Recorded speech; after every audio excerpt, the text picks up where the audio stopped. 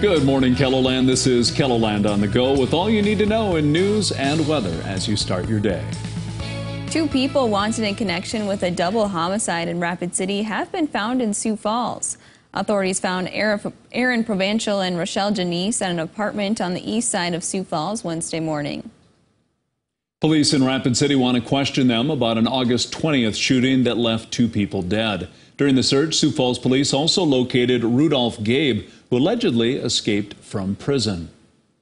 Sioux Falls police are investigating a shooting that sent two teenagers to the hospital. Early Wednesday morning, officers responded to the east side of the city near Meldrum Park for reports of gunshots. When police arrived, several vehicles left, including a pickup truck. That truck later arrived at the hospital with a 14 year old and 17 year old with gunshot wounds. Both boys are expected to survive.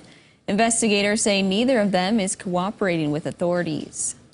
At least one of them gave us a few different versions about what happened when the officers uh, they ended up finding some shell casings. I think it was near Fifth Street and Lewis Avenue, and he was claiming that it happened someplace else. And when they asked him about the shell casings that were found, he basically said he wasn't talking anymore and didn't give any information. Clemens asked if anyone has surveillance video in the area or knows what happened to call police or Crime Stoppers.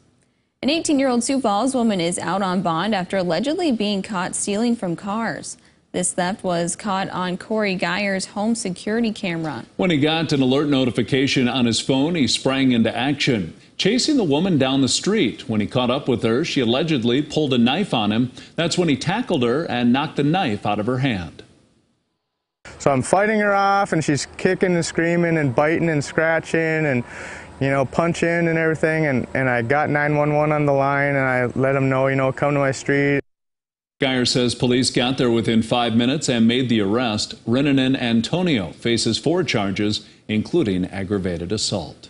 Turning to weather now with meteorologist Scott Mundt. Could see some hot temps today, Scott. We are looking at a very warm or hot day today. Temperatures in the 90s, even a chance for 100 degree heat across the plains of western South Dakota. In fact, Philip is in our forecast to hit 100 for today. 96 in Pierre and Rapid City, 91 in Sioux Falls and Aberdeen. And Brian will have more details on your forecast coming up. Thank you, Scott. Today's hot temperatures are impacting schools in Rapid City. Because there's no air conditioning in the buildings, 13 schools will be releasing at 1 o'clock Mountain Time this afternoon. School district officials say some students reported experiencing dizziness, nausea, and other symptoms inside these buildings yesterday. They include Robbinsdale, Pinedale, and South Canyon Elementaries and North and South Middle Schools. A plan to turn a golf course south of Sioux Falls into a public campground for Good Earth State Park might not happen. On Wednesday, South Dakota Game Fish and Parks received an update on the Spring Creek project. Division of Parks and Recreation Director Scott Simpson says homeowners along the golf course were adamant in opposing uh, overnight camping, but we're very open to converting it to a natural area. The South Dakota Parks and Wildlife Foundation bought the course and intended to transfer ownership to GFMP in October 2024. Capital News Bureau reporter Bob Mercer takes a look at the options for the project with this story right here on KELOLAND.com. A new exhibit at the Children's Museum of South Dakota has kids learning what it takes to be a veterinarian. The new vet clinic inside the Children's Museum in Brookings has quickly become a popular attraction for kids who like animals. They can care for several stuffed animals by giving them shots, checking their x-rays, or bandaging them up.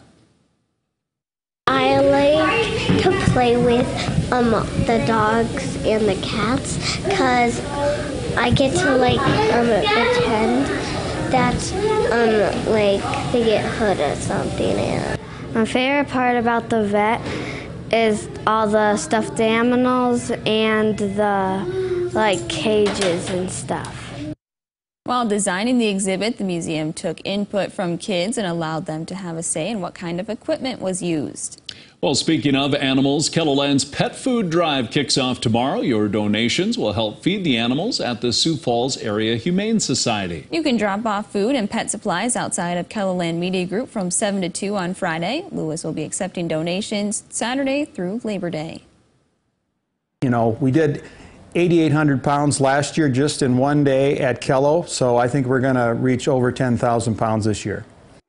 The Humane Society prefers Purina dog, puppy, and cat chow. For kittens, the shelter prefers Purina Healthy Kitten Formula. You can also drop off pet supplies such as towels or leashes. That's a look at some of our top stories. Now let's get one last look at your weather with meteorologist Brian Karstens. Brian? All right, weather today. Well, looking at those temperatures climbing through the 90s here by uh, mid to late afternoon. I would expect Pierre area pretty close to 100, within a few degrees of that. Philip probably will hit 100 today. And uh, Aberdeen and Sioux Falls right there at the low 90s. Now, tonight there is a passing frontal boundary that's going to switch around the wind to the northwest.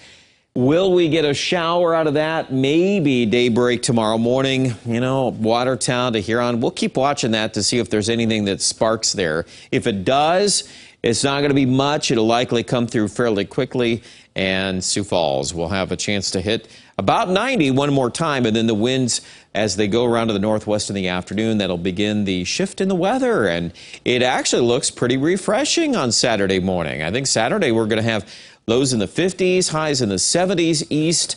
I expect, though, that's a temporary cool down. We'll begin to warm up as we wrap up Labor Day weekend into Monday itself. And then by Tuesday and Wednesday, here comes summer heat again and that's going to last most of next week. So we are not done. However, as you watch to the northwest, a little question mark there. There is a pattern change coming. A lot of things to sort out for timing, intensity of some cooler weather. Do we get some rain out of that? Well, stay tuned. We'll have more information in the coming days. Highs today 94 in Yankton, a hot afternoon. 90 tomorrow, Sioux Falls, cooling to 78 Saturday, 81 on Sunday. So there you go. Some nicer weather there for the weekend. Numbers for Aberdeen 77 Saturday, 84 Sunday. So, like Sioux Falls, we get a cool down, but very little rain chances. You know, with these temperatures going back and forth, we uh, normally would have at least something more to talk about. But at this point, it's still dry. Pierre 2, mid 90s. We're kind of stuck in a hot, dry pattern next week. Obviously, we'll keep watching the effects of that. And Rapid City, 90 degree weather returns by Sunday and Monday. Check out our website, KELOLAND.com, for more details.